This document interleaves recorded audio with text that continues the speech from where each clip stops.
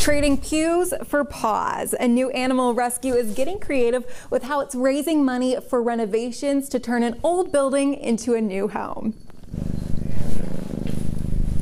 We're going to make it a cat rescue and make it something that the community can use and help cats at the same time. Amanda Coates has been rescuing and caring for cats close to 10 years.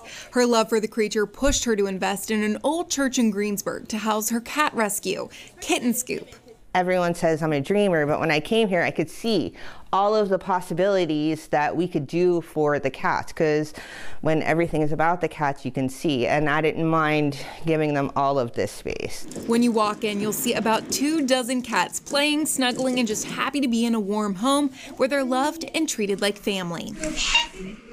Coates, of course, knowing all 25 cats' names by heart. This one is Peppermint. This is her sister Patty.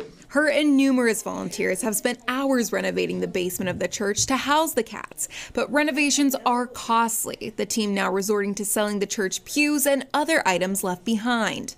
Anything else that was value, we're repurposing and putting back into the building to make it to make the renovations as cheap as possible. Renovations take time. The rescue is scheduled to be fully open to the public in the next six months. For Coates, it's all about giving back to an animal she knows some look down on in hopes of giving as many as she can a good home. Some people consider them a nuisance animal or nuisance wild, even a wildlife animal. We are the reason why they're there and outside. And it's, it's not their fault. Mm -hmm. So, me committing my life to helping them is kind of like humans saying, I'm sorry. And if you'd like to donate to help with renovations, you can go over to our website, WTAE.com, and there's a link there. For now, reporting in Greensburg, Ava Rash, Pittsburgh's Action News 4.